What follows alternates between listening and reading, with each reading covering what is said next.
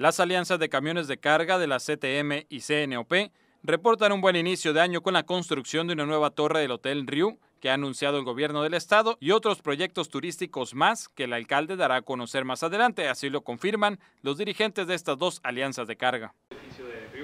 Del Hotel Riu, eh, estamos trabajando ahí ambas agrupaciones y pues, estamos en espera de los siguientes trabajos.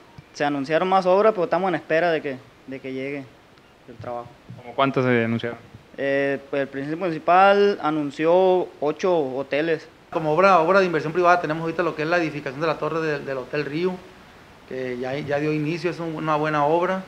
Y, sí, así es, una inversión por 40 millones de dólares aproximadamente. No todo lo hacemos nosotros, como comentaba aquí mi compañero, presidente de, la, de CNOP, pero es bueno, o sea, también estamos trabajando en Mayan Palace, también otra, otra cadena de hoteles que viene aquí a, a desarrollar y pues esperemos que sea un buen año.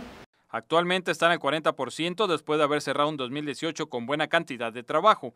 Lo que sigue representando un problema es el alto número de permisos otorgados por administraciones anteriores, ya que actualmente son más de 400 los permisionarios y a esto se le suma un buen número de camiones que trabajan de manera irregular, de manera pirata. Pues eso vino a saturar un poco el mercado y aparte tenemos la competencia desleal que es de la piratería.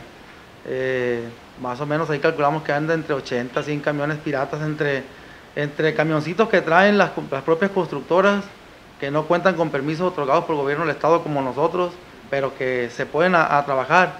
Para eso tenemos un, un, este, un plan de trabajo con ellos, con las empresas constructoras que nos dan trabajo, pues ahí se les da una participación para trabajar en conjunto.